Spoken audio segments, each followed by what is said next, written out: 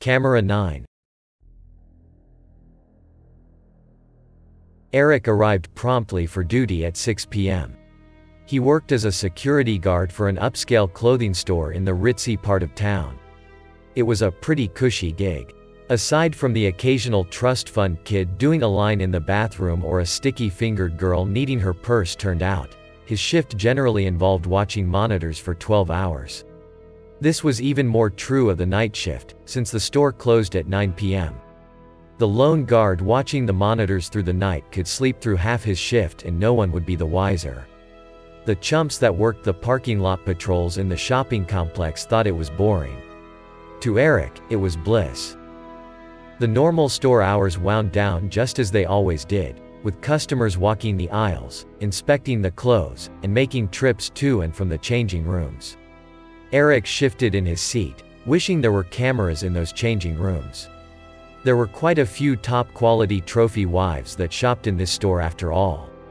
Of course, the changing rooms were off limits for cameras due to privacy reasons, so Erick leaned back with a sigh and began poking at his smartphone to pass the time. Closing time came and went, and the monitors now showed empty aisles and abandoned cashier stations. The store was a darkened temple to consumerism, and Erick was the lone attendant priest. He passed the time intermittently glancing at monitors and playing the latest hit mobile game, doing his best to stay awake despite the quiet and solitude. At around 12:30 a.m., some movement on camera number 9 caught his eye. Erick's eyes shifted from his phone to the screen, narrowing as they searched the CRT display. He saw nothing. Lowering his eyes back to the smartphone screen, he continued his imaginary conquests in his game. A half hour passed before he saw movement again. He glanced up again, then did a double take. He leaned forward in his seat, setting his phone on the counter and staring at the screen. There was someone standing in front of the clothing rack. The picture on the CRT was grainy, but judging by the length of the hair and haggard appearance of the clothes, it appeared to be a woman. Perhaps it was a vagrant of some kind. This was a hassle Erick did not need. Erick stood from his chair. As he did, the figure's head inclined. It appeared to be looking in the direction of the camera, but the resolution made it impossible to tell for sure. Slowly the figure turned and walked towards the changing rooms. Shit, Erick thought, moving quickly towards the door. He did not want to play hide and seek with the homeless at 1 a.m. Grabbing his flashlight, baton, and his keys, he left the guard station.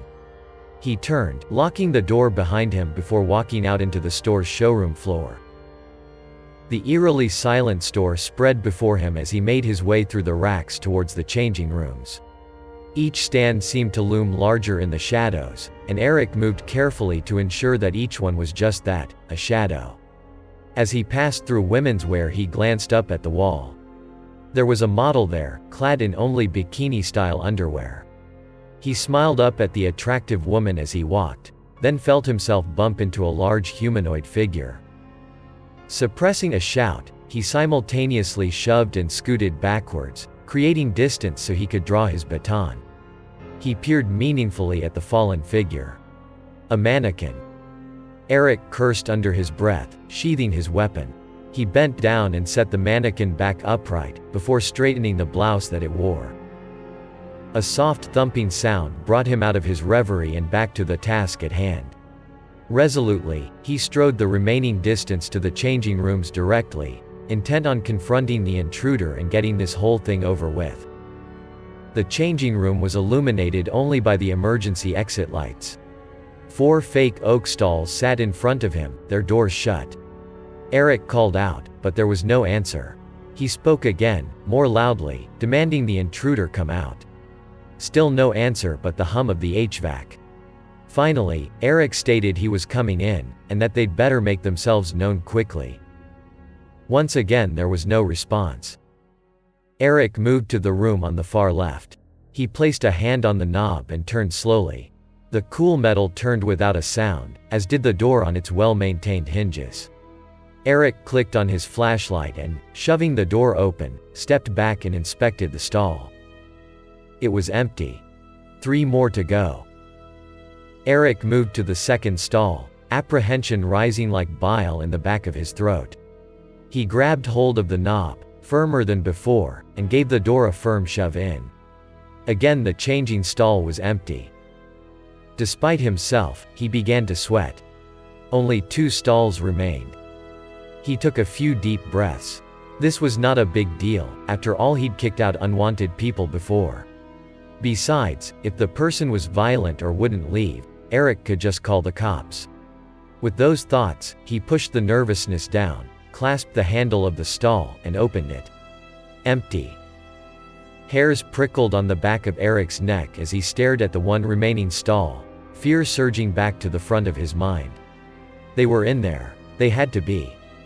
He called out to them, telling them to come out now, or he was coming in. He received no response. He listened closely, but could hear no breathing. There was no smell, either. Given their haggard appearance he expected a nasty stench, but instead there was nothing but the high-end citrus cinnamon smell of the wall-mounted deodorizers. He should have been relieved, but the disparity just unnerved him more. He steeled himself to open the door. It was time to turn this person out on the street. This had ruined his evening, and as he thought about it Erick actually began to get angry. What a hassle, a headache, an annoyance. He resolved that he might even be a bit rough with the intruder if he had to, just to teach them a lesson. Hands now shaking with fear and anticipation, he drew his baton back and, rather than turning the knob, kicked the door in violently. What he saw there caused his stomach to drop into his shoes. Nothing. There was no one there. Enough was enough. Erick wasn't going to play this game. He put away his baton and reached for his smartphone to call the police, but found that it wasn't there. He had set it down in the guard station room earlier. Erick walked back to the guard station, regularly looking about and over his shoulder for any sign of the intruder. When he reached the locked guard room door, he fumbled out his keys and shakily undid the lock. When the mechanism clicked open, he glanced briefly over his shoulder. Nothing there. Before hastily entering the station and locking the door again behind him. He sat down at the console in front of the screens, rewinding the footage on all the monitors. He reached the point at which the mystery person appeared. He watched them walk into the changing room as he dialed the local police precinct contact number. As the phone rang, he watched himself appear on the monitors. A woman answered the phone, asking how to direct his call. Erick asked to be transferred to the on-watch officer for his area of town. As he waited, he watched the tape as his past self stumbled into the mannequin, then moved to the changing rooms. As his past self appeared on camera number 9, a flicker of movement appeared on camera number 5, the camera displaying the outside of the guard station door. He turned to look. The haggard woman, he was sure of that now from this new view, had appeared on camera number 5's display, just as he had arrived at the changing stations. Where had she come from? He watched, his heart speeding up, as the figure walked towards the door. He had locked it. Erick knew he had locked it. As the figure reached the guard door, the screen flicked off. Behind him, Erick could hear a slow creaking sound. He watched in terror, as in the reflection from the surface of camera number 5's dead monitor, the storage closet behind him began to open. Hello, this is Area 425 Precinct. How can I help you? Hello? Anyone there? Hello, is anybody there?